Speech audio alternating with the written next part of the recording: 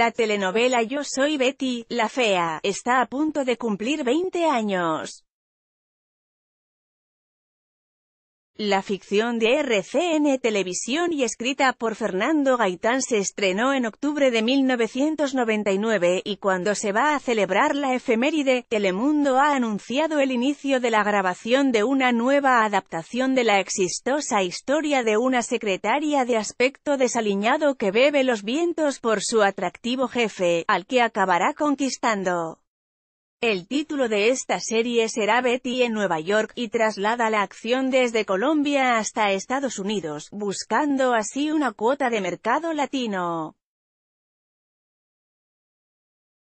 Su estreno está previsto para principios de 2019, aunque no se ha dado más pistas al respecto. Estoy muy emocionado de participar en una producción que cuenta cómo vivimos y hablamos los latinos acá en Estados Unidos, manifestó el actor Aaron Díaz, quien junto a Eric Elías protagonizan la nueva producción.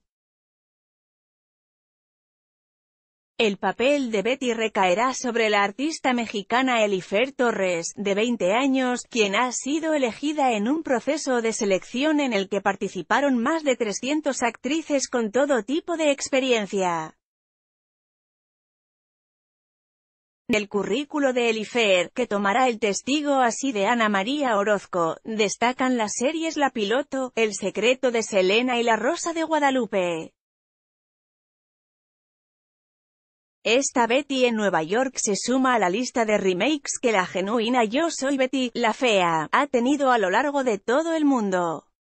En España, Telecinco produjo Yo Soy Bea, pero también hay otras, feas, en China, Alemania, Grecia y así con más de una veintena de países. De hecho, hay que destacar que Betty ya pisó Nueva York en las cuatro temporadas de la serie Ugly Betty que produjo Salma Hayek para la cadena ABC.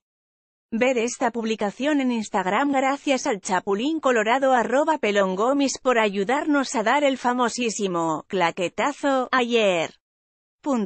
Arroba Betty en New York Una publicación compartida de Aaron Díaz, arroba Aaron Díaz, el 27 de noviembre, 2018 a las 9 y 21 de la mañana PST.